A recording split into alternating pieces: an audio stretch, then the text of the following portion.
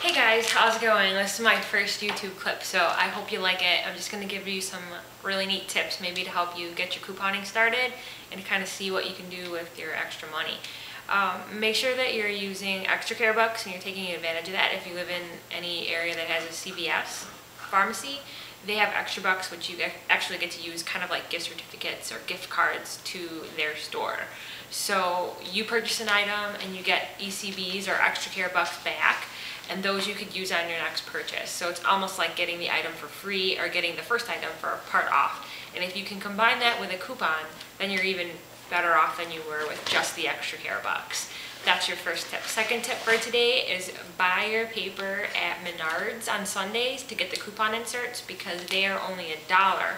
Paper's only a dollar at Menards, whereas if you get it somewhere else, it's $2, at least here in the Chicagoland area. Um, make sure that you try to get the paper on Saturday earlier in the afternoon because um, actually try to get it around noon because otherwise they start to sell out.